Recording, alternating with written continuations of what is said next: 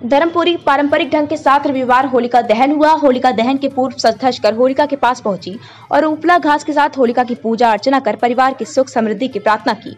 होलिका दहन को लेकर बड़ों के साथ बच्चों में बड़ा उत्साह देखा गया। ढोल नगाड़ों के साथ धूमधाम से देर रात होलिका का दहन किया गया। आपको बता दें कि धार्मिक आस्था का प्रतीक पाँच दिवसीय रंगों का पर्व, होली की शुरुआत होलिका दहन के साथ हो गई है। इस पर्व को मनाने के लिए हफ्तों पहले से ही तैयारियाँ शुरू हो जाती हैं, पर न केवल पूरा समाज आपसी मतभेद भुलाकर मिलता है, वहाँ रंगों में रंग, लोगों के बीच ऊंच नीच की दूरियाँ भी खत्म हो जाती हैं। होली के दिन सब मिलकर सिर्फ़ मौज मस्ती करते हैं, बल्कि एक दूसरे को रंग लगाकर बधाई देते हैं। धर्मपुरी सोनू मुना के साथ गोलू पटेल की रिपोर्ट।